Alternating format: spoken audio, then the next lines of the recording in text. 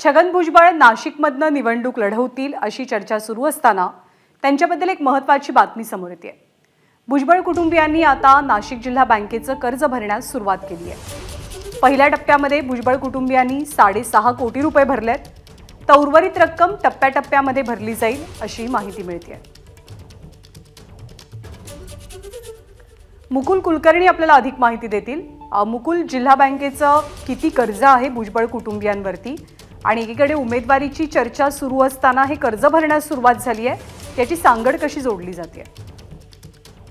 ज्ञानदा छगन भुजबळ नाशिक लोकसभा मतदारसंघामधनं निवडणूक लढवणार हे जवळपास निश्चित झालंय. आज दुपारी किंवा उद्या पर्यंत त्यांच्या नावाची घोषणा देखील होण्याची दाट शक्यता आहे. त्याच पार्श्वभूमीवर आपल्यावर जे जे कर्ज असतील किंवा इतर जे आरोप होते त्यामधनं आपली इमेज क्लीन कशी करता येईल?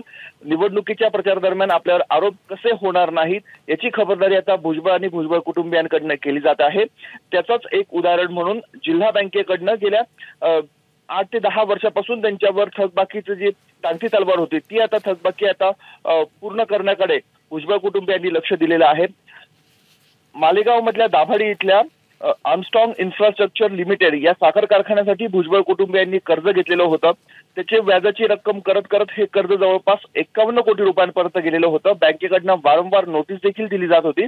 आणि याला या नोटिसीला आजपर्यंत त्यांनी सकारात्मक उत्तर दिलेलं नव्हतं. मात्र आता निवडणुकीच्या ऐन तोंडावर भुजबळ कुटुंबियांकडनं वन टाइम सेटलमेंटमध्ये साडेसहा कोटी रुपये पहिल्या टप्प्यामध्ये भरण्यात आलेले आहे आणि आपण इथूनही पुढे कर्ज भरू अशा स्वरूपाचं आश्वासन त्यांच्याकडनं देण्यात आलेलं आहे. त्यामुळे ह्या घटनेचा आणि निवडणुकीची सांगड ही या पद्धतीने घातली जाते. त्यामुळे छगन भुजबळ यांची दावेदारी आणि उमेदवारी ही जवळपास नक्की मानली जाते. धन्यवाद मुकुल या माहितीबद्दल. एबीपी माझा. उघडा डोळे बघा नीट.